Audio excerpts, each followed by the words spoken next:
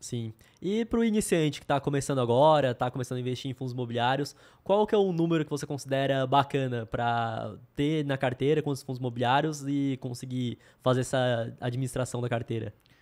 É, eu acho que quando você começa a investir em fundos imobiliários, pelo menos cinco fundos seja interessante você colocar na carteira, né? Ah, já tenho mais recursos, já tenho mais dinheiro, quero ou mais tempo investindo. Entre 10 e 15 fundos eu acho que é, é o ideal, não precisa ter muito mais do que isso.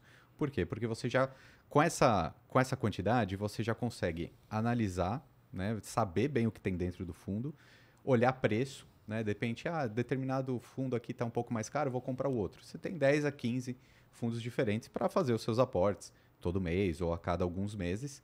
Mas para começar, eu acho que quatro ou cinco fundos é, seria mais bacana, porque aí você já tem uma diversificação e você já vai entendendo um pouco mais como funciona cada um deles. Uhum. Né? De repente você compra dois de papéis, um de lajes, um de logística, um de renda urbana, de repente. Até porque assim você se força mais a tentar entender o que tem lá dentro. É, como são menos fundos, a tendência é que você se aprofunde mais em cada um. Exato. E, e, conforme o tempo for passando, você como investidor for se desenvolvendo, você passa a analisar outros, entender melhor e também ir adicionando na carteira aos poucos. É, e uma dica que eu dou também para o pessoal que está começando é que no início não precisa ficar pensando tanto numa altíssima rentabilidade, né? Porque você ainda está no processo de, de entendimento. Né? Então o começo ele é quase como uma escola na prática. Então você compra um fundo, mês que vem você vai ver que cai um dividendo na conta. Ah, mas aonde que cai? Entra lá na conta corrente da sua corretora, você vai ver. Depois de um tempo você vai vender uma cota de fundo imobiliário, você vai falar: "Ah, mas qual botão eu aperto?". Muita gente erra, né? Porque tá, tá aprendendo aquilo. Então não precisa começar e falar assim: "Ah, eu já quero ter 1% ao mês garantido ou 10% de rentabilidade".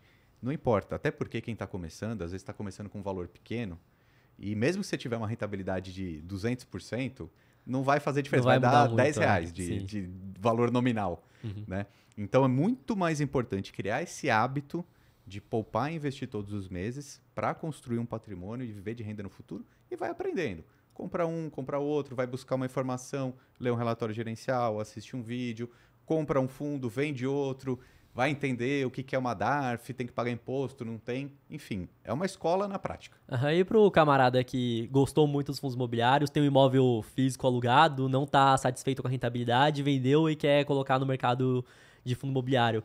Qual é a recomendação que você dá para ele não se assustar com o mercado, porque ele tinha um imóvel que, querendo ou não, você não tem. Obviamente que o preço do imóvel muda, varia a cada momento, mas não tem uma telinha mostrando isso. Então, qual a recomendação que você dá para esse cara? A melhor recomendação é não olhar. Né? Eu acho que esse ponto é importante. Se você tem um imóvel, é, você não sabe quanto que está o preço do seu vizinho, quanto que está o seu. Você não fica entrando lá no, no site da, da, da imobiliária e vê, olha, quanto que está o metro quadrado da minha região hoje. Sim. Né? A, a mesma coisa da Bolsa de Valores. Você não precisa ficar entrando todo dia você não precisa ficar entrando nem todo mês. Você pode uhum. entrar lá só para fazer novos aportes. E na questão do aporte, você acha que é mais interessante ele pô, coloca tudo de uma vez ou ele divide em 10 meses, em um ano? Como que você faria ah, eu, isso? Eu, eu, eu, gosto dessa ideia. Eu acho que é interessante ir fazendo aos poucos. Não precisa fazer tudo de uma vez. Né? Eu costumo falar que os investimentos não são um álbum de figurinha, né? Que você quer completar rápido, você precisa ter um pouquinho de cada coisa. Não, você pode fazer aos poucos, fazer no seu tempo. Né? Eu começaria pro, pelos fundos mais seguros. Tá? Então, pro, provavelmente, aqueles fundos com maior valor patrimonial tendem a ser mais seguros. Por quê? Porque já se provaram no tempo, porque a gestão já se comprovou, já fizeram novas emissões, o, os seus cotistas gostam, né? os analistas aprovam. Eu começaria pelos fundos mais seguros, de repente compra um, dois, três fundos, vai entendendo, aí mês que vem compra mais, compra um outro, e aí vai tentando analisar o, o mercado junto. E também a gente tem que pensar se a pessoa já está acostumada com aquele imóvel físico, com aquele dinheiro, é, o mercado de bolsa de valores tem mais volatilidade, é melhor ir aos poucos. Uhum. Porque é um ponto importante também não se traumatizar, né? Porque precisa entender que a volatilidade existe, ela é tranquila e o medo, você perde o medo conforme você vai tendo mais experiência. Sim. E um fator interessante é que às vezes o cara vende imóvel e pensa, ah, no meu imóvel eu tinha 0,4% ao mês de rentabilidade. Eu vou para fundo imobiliário, eu quero buscar 1%. Ah, aí já, calma, né? É, então, aí acho que já não faz muito sentido. Se você pegar fundos que já tem um histórico muito grande, já tem uma regularidade nos dividendos de muitos anos, ele vai pagar 7%, 8% ao ano, que já é muito mais do que Exato. o que teria com imóvel físico. Não, isso é muito importante. Assim, eu acho que em momentos da nossa economia, os fundos imobiliários pagam 1% ao mês com tranquilidade. Mas a gente não pode perpetuar isso. Uhum. Não vai ser assim para sempre. Né? Até porque esses que pagam mais normalmente são fundos de papéis, quando a taxa Selic ou IPCA está favorável para esse fundo. Né? Então isso não vai ser, ser eterno, não vai ser para sempre.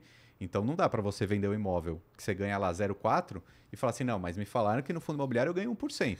Não, você está ganhando hoje, não, não é para sempre. Né? Agora, pensar em 7 ou 8% ao ano, 0,7% ao mês, 0,8% ao mês, cara, dá tranquilo. Dá para ganhar tranquilo, por quê?